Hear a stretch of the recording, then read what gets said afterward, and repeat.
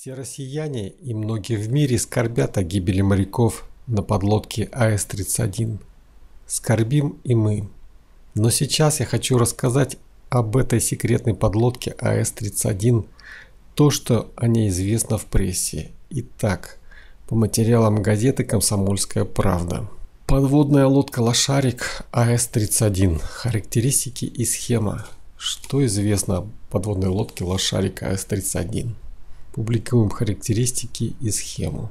Подлодка АС-31, по ошибке ее до сих пор именовали АС-12, строго говоря, подлодкой не является.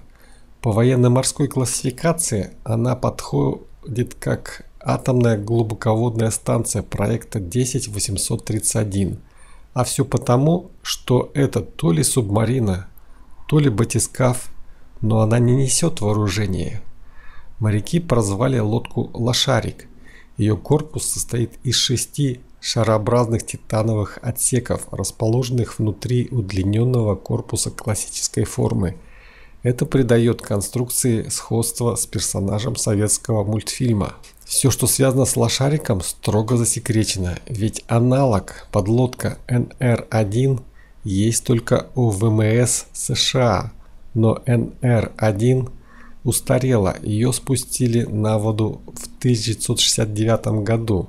К тому же американская серьезно уступает нашей станции в технических характеристиках. К примеру, лошарик способен погружаться на глубину до 6 километров, в то время как НР-1 только на 1 километр. Отсутствие вооружения не делает АС-31 менее опасной. Наоборот, на недосягаемой для других глубине лошарик способен разрушать размещенную на дне инфраструктуру, в том числе кабели, от которых зависит работа и интернета, и сетей связи военного назначения вероятного противника. В современной гибридной войне эта способность может оказаться более мощным оружием, нежели ракеты и бомбы. Кроме того, лошарик может устанавливать глубоководные мины – в том числе, как пишут некоторые СМИ, мины с ядерным зарядом.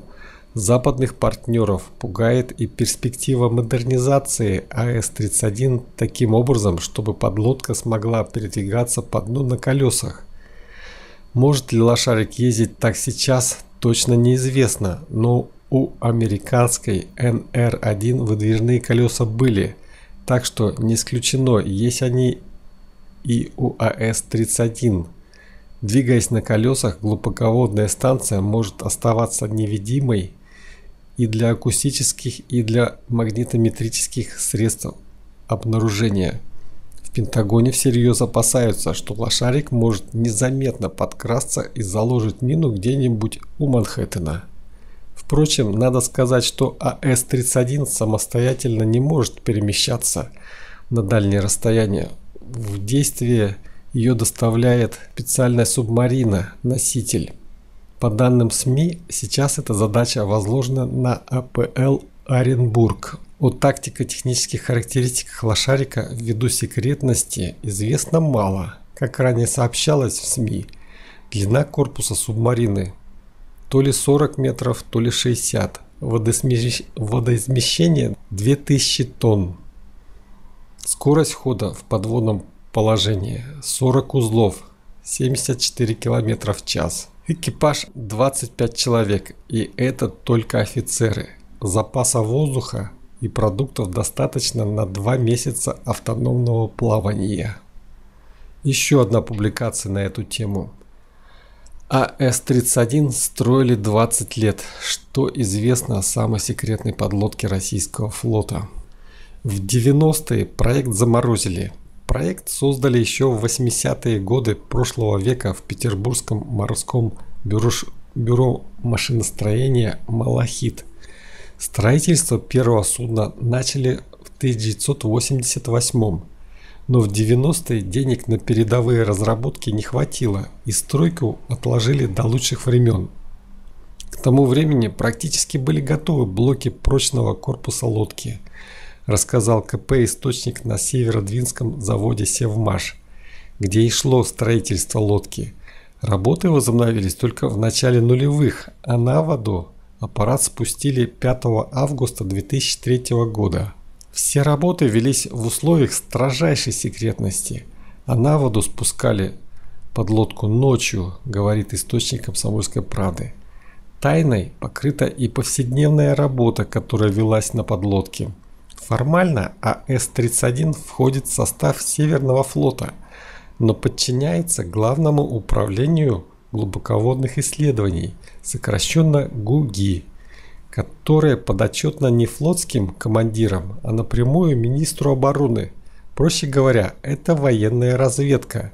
Неудивительно, что о людях, служащих на АС-31, известно крайне мало. В 2013 году вокруг офицеров Гуги разгорелся скандал. Счетная палата подсчитала, что тогдашний министр обороны Сердюков незаконно поднял зар зарплату гидронавтам, то есть тем, кто работает на больших глубинах, на небольших подводных аппаратах. Цифры из отчета ревизоров впечатляли. Офицеры ГУГИ получали до 600 тысяч рублей в месяц. Для сравнения, командир – мотострелковой бригады на Дальнем Востоке получал порядка 80 тысяч рублей, а командир базы стратегических бомбардировщиков около 180 тысяч рублей.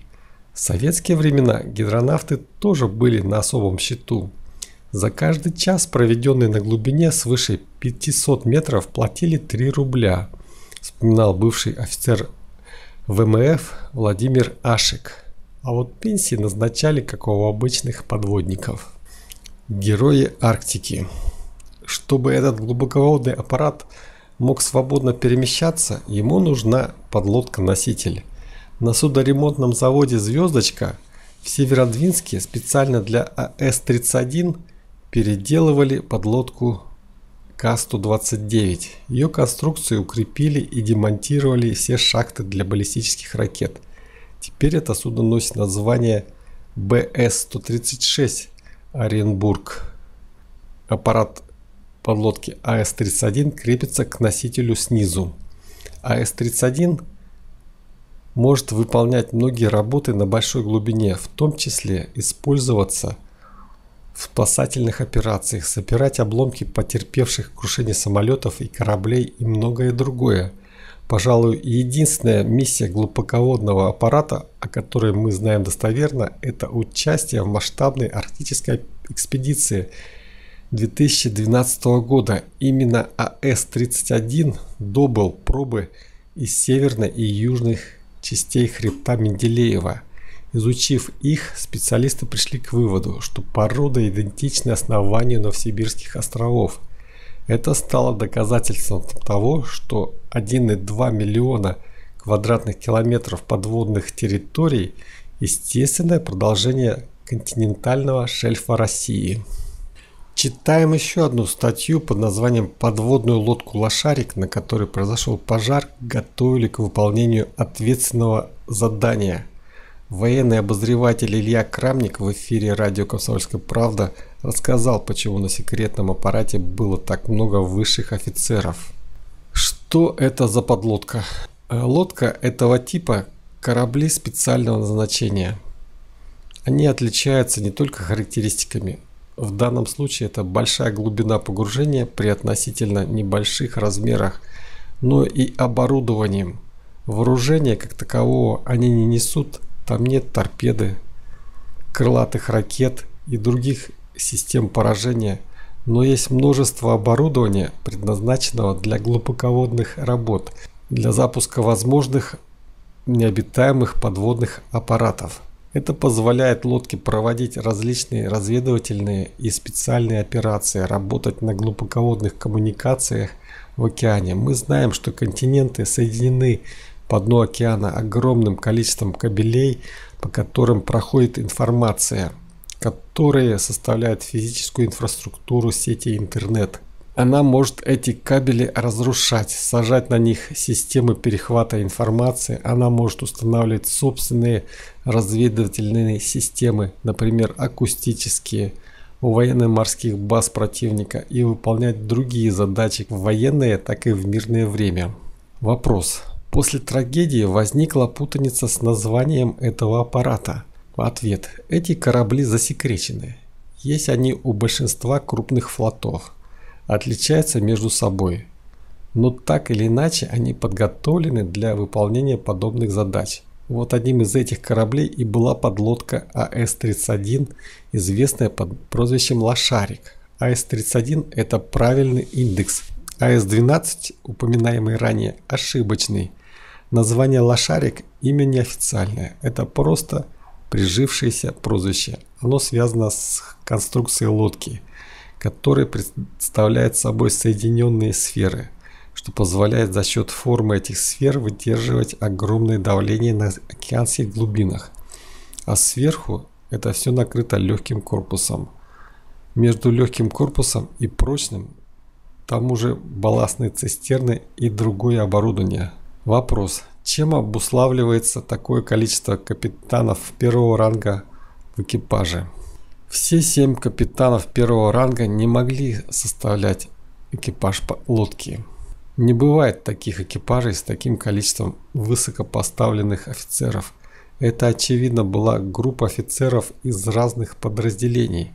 Такое может быть в случае, если на борту лодки находится какая-то комиссия или группа руководства учениями или, возможно, группа по испытанию какого-то нового оборудования. Может быть, лодку готовили к выполнению какого-то ответственного задания. И эти специалисты в больших званиях с большими заслугами собрались проверять ее готовность. Или там проводилось испытание какого-то нового оборудования, которое они контролировали как специалисты. Или обработка какой-то новой тактики действия, и это требовало присутствия специалистов, которые могли бы тоже наблюдать за этими учениями для собственного опыта или для выдачи заключения по итогам. В обычное время не может быть столько высокоставленных военных. Это означало выполнение какой-то задачи, требующей контроля большого количества специалистов, наблюдения или участия.